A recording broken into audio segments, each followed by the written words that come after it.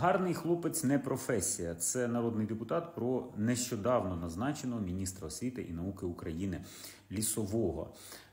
Виявляється, що депутати дають запити до міністерства, а пан міністр, за словами народного депутата, відповідає в стилі пане народний депутате, йдіть на. Ми нічого робити не будемо. І коли у цього депутата запитали, власне, а чому ви голосували за Оксена Лісового на призначення міністром, депутат сказав, що ну тоді він видався нормальним.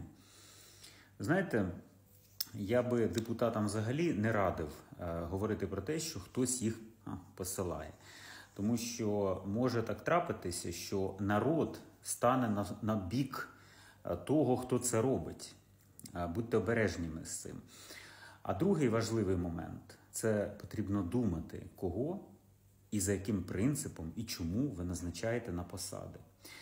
Оксен Лісовий, напевно, хороша людина. І можливо, можливо, він мав би зайнятися якимись надзвичайно важливими і міг би зайнятися важливими речами.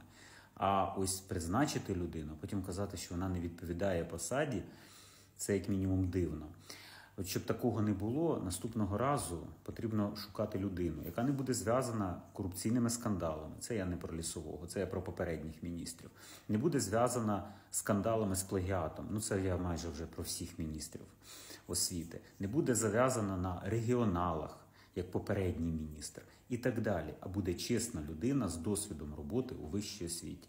Якщо у вас буде бажання призначити такого міністра, мене ви можете завжди знайти. Але як написав один із коментаторів у мене на каналі, ви не чийний, тому вам не запропонують. Ви там не потрібний. Ну, я вірю в те, що в державі все ж таки освіта і наука важливі речі, і а, за цим майбутнє.